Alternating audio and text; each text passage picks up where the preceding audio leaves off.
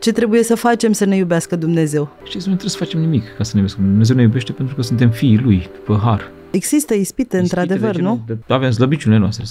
E bine să venim spre Dumnezeu și la bătrânețe și în ultima zi.